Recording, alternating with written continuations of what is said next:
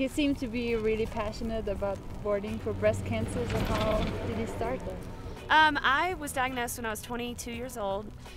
I found a lump. Uh, my boyfriend found a lump when I was 21, and I went to a doctor, and he told me it was a fibroid, which a lot of women have. It's just muscle and tissue that kind of changes with your hormones.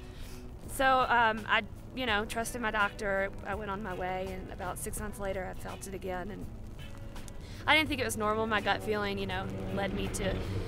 I was up in Maine at a summer camp and I went to a really small doctor, a small town doctor, and she said, you know, it's probably nothing, you're so young, but let's just do a really simple biopsy. And it ended up being stage one breast cancer. And through all the tests and everything, they found a second lump in my second breast. So I had two separate tumors, but um, this first one had grown so, so much larger because they had misdiagnosed me for so many months and I, you know, I went through treatment. I had to drop out of college, and I was healthy, and I was really fortunate to be in remission right away. And when I moved out to Aspen after all my treatments, I um, met someone at X Games, and they told me about boarding for breast cancer. So I called Justine, and I said, you know, I'd love to get involved. I live here. If y'all need any help, let me know.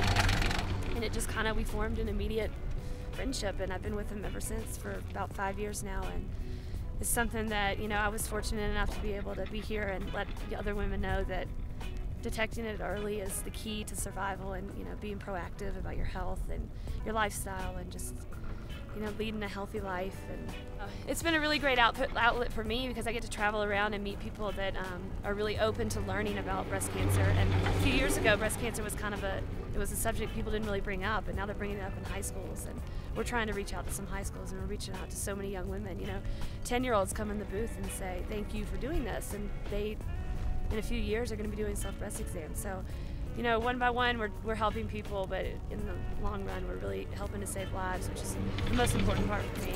So it's been a really good experience.